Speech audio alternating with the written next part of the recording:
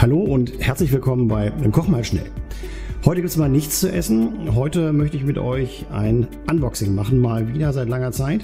Und zwar Unboxing des noch relativ neuen Dutch Oven von Weber Grill. Ich wollte schon immer einen Dutch Oven haben, hatte bisher keinen, bin kein Fan von Holzkohle. Ich grille immer schon seit Jahren auf Gas und ja, da musste ich auch einen passenden Grill für haben. Den habe ich auch inzwischen. Das Unboxing zeige ich euch auch demnächst vom Spirit E320 GBS. Was lag näher, als jetzt endlich mal den Dutch Oven dazu zu besorgen? Das habe ich jetzt getan und den würde ich heute mal mit euch auspacken und dann schauen wir mal, was so drin ist, was Weber da so liefert.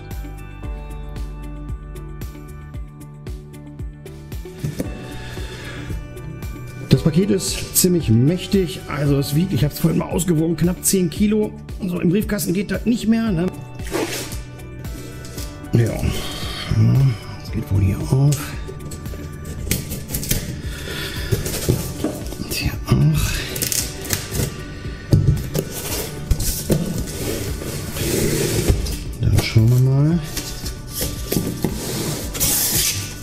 Hier so drin ist. So. Und ihr seht, der ist ordentlich verpackt. Ich drehe den mal um. Ja, muss man hier wohl auch noch mal aufschneiden. Das machen wir jetzt auch mal vorsichtig. Hier auch mal.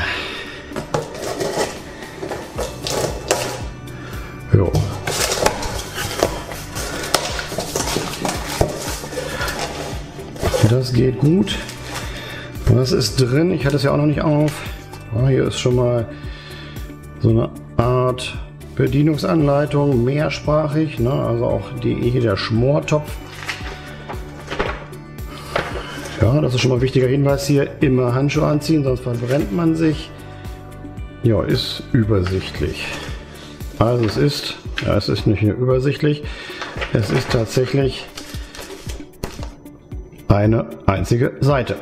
Ja, schauen wir mal. Na, so viel erstmal zur Technik, zum Papier, was hier so mitgeliefert wird. Also eine Seite können wir erstmal zur Seite legen. Ja, dann ist er hier gut verpackt. Das ist zunächst mal der Deckel.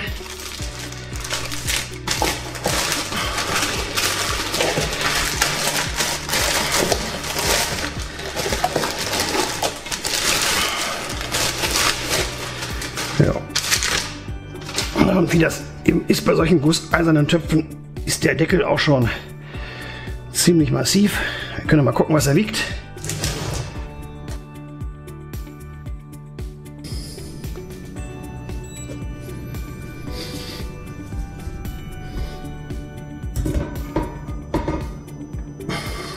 Ja, liegt nicht ganz gerade drauf jetzt, aber dürfte passen. Also der Deckel alleine wiegt schon gute 3 Kilo.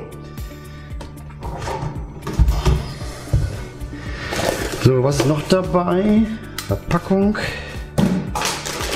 Und der eigentliche Topf. Mal Pappe.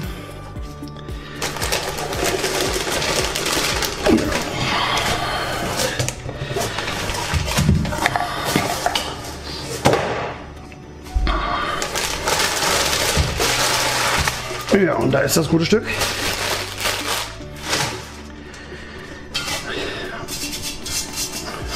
Bisschen staubig, aber ansonsten in Ordnung. So. So viel zu dem Topf. Und der Topf ist natürlich, weil es kein Topf ist, der auf Holzkohle gestellt werden soll, mit glattem Boden versehen. So wollte ich es auch haben.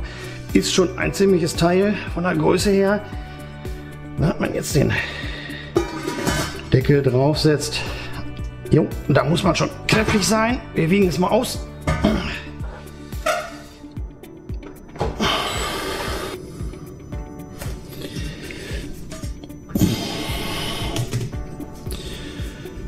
Ja, ihr könnt es jetzt nicht sehen, ich zeige es euch gleich. Also das Ding wiegt mit Deckel 7,7 Kilo. Das ist ordentlich. Also da muss man schon mal kräftig hinlangen. So, der Topf hat, so wie ich ihn jetzt geliefert bekommen habe, bei webergrillen.de 129 Euro gekostet. Auch nur deshalb, weil ich ihn zusätzlich mit dem Grill und einer Abdeckhaube bestellt habe. Es gibt ihn einzeln im Netz aber auch schon billiger. Um die 119, 120 Euro habe ich schon gesehen. Ich wollte es aber hier einheitlich von einem, von einem Händler haben. Also wer den getrennt bestellt, einzeln bestellt, der mag das vielleicht günstiger bekommen im Netz. Von der Größe her können wir ja mal messen. Wie groß ist das Ding? 32. Das ist also schon ganz ordentlich. 32 Durchmesser und von der Höhe ziemlich genau 9. Nach Angaben von Weber hat der Topf wohl um die 6,6 Liter. Also das ist schon sehr ordentlich. Mal zum Vergleich hier stelle ich mal eine Standard Springform. Das ist glaube ich eine 26er hier rein. Ja, das ist eine 26er Form, damit ihr so ein bisschen Gefühl dafür kriegt, wie groß ist das Teil. Ne? Die 26er Form hier ist also auch bei weitem nicht so hoch wie der Topf. So viel also zu den Maßen des Topfes hier, 6,6 Liter. Da geht ordentlich was rein. Da sollte auch eine ganze Schweineschulter reingehen und die klassischen Gerichte. Ja, zum Prinzip nochmal von diesem Dutch Oven, der wie gesagt auf Gasgrill passt. Er ist äh, von Weber jetzt so konzipiert worden, dass er zu bestimmten Serien passt. Ich hatte es vorhin schon mal angedeutet. Das ist äh, hier der Kugelgrill 22 Inch oder 57 cm.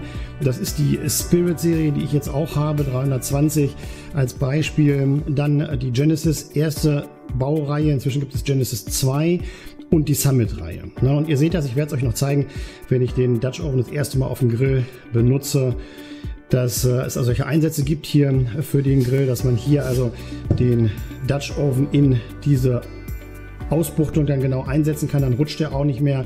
Und äh, bei meinem zumindest habe ich auch drei Brenner, sodass man prima auch indirekt arbeiten kann.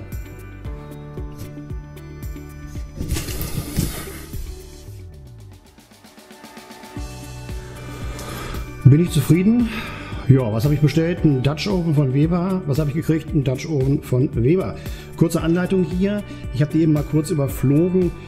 Oh, ist alles nachvollziehbar hier. Nicht auf dem Seitenkocher verwenden, weil sehr schwer. Nicht auf dem Seitentisch. Was mich etwas irritiert, Warnung, Alkohol jedweder Form darf nicht in einen heißen Dutch Oven gegeben werden. Ich nehme mal an, die meinen, wenn noch nichts sonst drin ist, denn in einer meiner Lieblingsshows, die Grillshow, da ist eigentlich in jedem der Rezepte für den Dutch Oven, eins davon werde ich demnächst mal machen, Whisky drin und das gehört da auch rein. Also das werde ich auf jeden Fall austesten. Ja, ansonsten ist das dabei, was ich bestellt habe. Ein massiver Deckel, ein massiver Topf, beides zusammen richtig massiv und natürlich auch, na, wenn jetzt die ganzen Griller die Nase rümpfen, im Zweifel zu benutzen im Ofen, wenn man denn keinen Grill hat. Ja, zugegeben, das ist dann nicht mehr Grillen, das ist dann Kochen, aber man hat eben auch noch ein Gerät und äh, das finde ich besser als bei den Holzkohlebetriebenen. Alles eine Glaubensfrage. Den kann man eben auch hier prima mal in den Ofen stellen, wenn man einfach nur einen gusseisernen Topf braucht. Also aus meiner Sicht multifunktionell und deswegen kann ich sagen, ja, bin zufrieden. Also aus meiner Sicht okay. Wenn es euch gefallen hat, gebt mir einen Daumen hoch und abonniert gerne meinen Kanal. Und ansonsten bis demnächst bei Koch mal schnell.